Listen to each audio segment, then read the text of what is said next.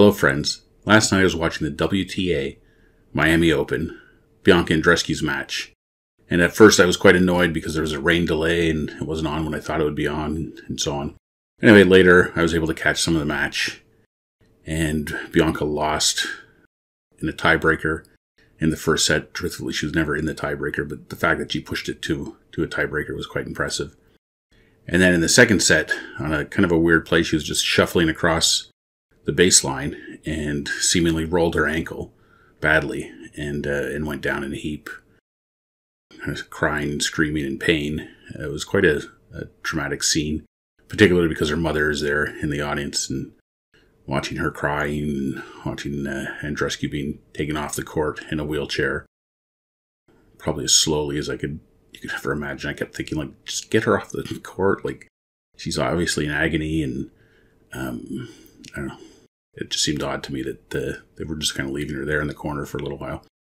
Anyway, the more I thought about it last night and this morning, uh, the more compelled I was to come on and do this little video. Because I think, you know, when you suffer an injury, uh, you know, I don't know the extent of her injury right now, but I can relate because many years ago while playing hockey, I uh, went over on my ankle and ended up breaking it and having to have surgery and have two screws put in it. And I think it was in a cast for six or eight weeks, something like that and then a year later had to get the screws removed. So I kind of felt the pain, or was reminded of the pain I felt when I went over on my ankle like that. And it got me to thinking about, you know, in a case like this with this injury, she's just kind of fought her way back uh, to a competitive level. Here she is in the round of 16 at the Miami Open, and on a good uh, a good clip. Some some of the top seeds have already been eliminated, so probably a great opportunity for her to go deep in this tournament. And here she is suffering uh, another injury and having another setback. And I thought, you know, at a time like this, it reminds me of the old Chinese farmer parable where, uh, you know, the Chinese farmer's horse runs away and the whole village gathers around and talks to him. Oh, this is terrible. And the farmer's response is, maybe. And then a few days go by and the horse comes back and with it, he brings several wild horses. Everyone gathers around and says, Oh, this is so terrific. Now you have even more horses. This is what an amazing thing. And again, the farmer's response is maybe. And then his son is out training one of the wild horses and gets thrown from the horse and breaks his leg. And they all gather around. Oh, this is so terrible that your son's broke his leg. The farmer's response again, maybe.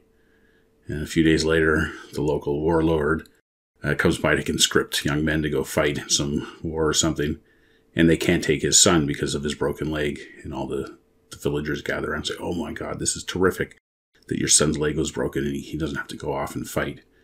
And again, the farmer says, Maybe. So the moral of the story is, you know, we really don't know. Is, is this injury to Andreescu, uh, you know, the worst thing that could ever happen? Or, you know, a year, two years down the road, could this be the best thing that's ever happened to her? And, you know, the best thing that ever happened to her may or may not have anything to do with tennis at all. You know, she could never play another tennis match in her career and go on and live a, a beautiful life. And, you know, she's a young lady, maybe have kids and raise a family and do all sorts of stuff in tennis or in fashion or otherwise. Or she could come back and train even harder and, uh, and learn something from, from this whole experience about resilience and determination and come back and dominate the tour, win another U.S. Open or multiple Grand Slams. Who knows? Uh, that's the whole point. The future is an incomplete equation. And uh, so, my advice to Bianca Andreescu is just be as present as possible, listen to your body, do what you need to, to do to heal both physically and mentally. And, uh, you know, when you operate from a clear, calm mind, you will be guided and you'll know exactly what to do whether that's uh, tennis or something else. Anyway, uh, and I'd say that advice is not only for Bianca Andreescu, but for all of us. So, with that, thanks for listening. Now go unleash your potential.